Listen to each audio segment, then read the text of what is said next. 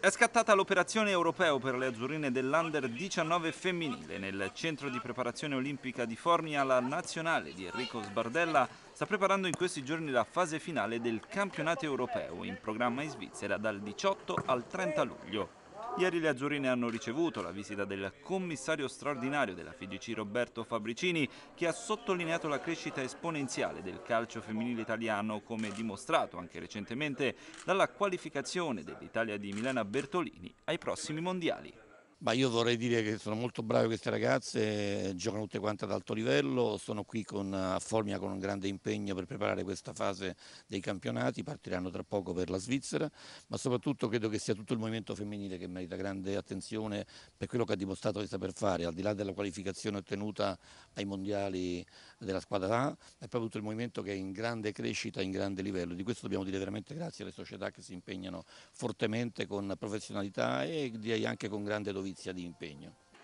Insieme al direttore generale Michele Uva a fare un in bocca al lupo alla squadra prima della partenza fissata per lunedì era presente anche il vice commissario Alessandro Costa Curta, abituato da calciatore a questi tipi di appuntamenti. Io le sto solo invidiando perché ho passato questi momenti e sono momenti bellissimi, l'unica cosa che cercherò di condividere è proprio questa, questa bellissima emozione che stanno vivendo perché devo dire che eh, i miei ricordi più belli sono appunto questi ritiri pre-fase pre finale.